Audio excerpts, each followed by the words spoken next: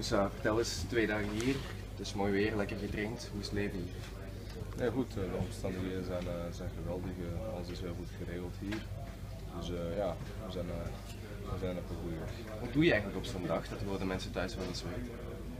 Ja, we trainen, dan trainen we twee keer, vandaag één keer en dan nog verschillende activiteiten, eten, besprekingen, verzorging. Dus voordat je weet is het al, is avond. Moussa, je bent uh, moslim. Uh, hoe zit het met je, je bent moslim, hoe zit het met jouw ramadan?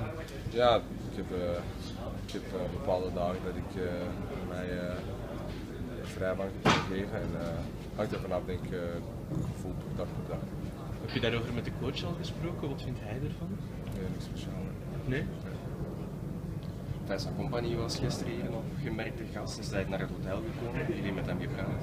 Ja, we hebben met hem gesproken ik denk sowieso heeft dat uh, een goede invloed, uh, want hij is toch wel uh, al een leiderfiguur en bij iedereen een beetje gesproken en ik denk dat het een positief effect heeft. Word je gemist hè, in de ploeg? Ja, gemist. Kijk, we hebben, we hebben heel veel goede spelers die hem goed kunnen vervangen en ik denk sowieso is, en dat weet iedereen, dat hij heel veel, heel veel waarde voor ons heeft, maar dat is dan voorbij op het moment en we concentreren op de jongens die, die het gaan doen voor ons. Dus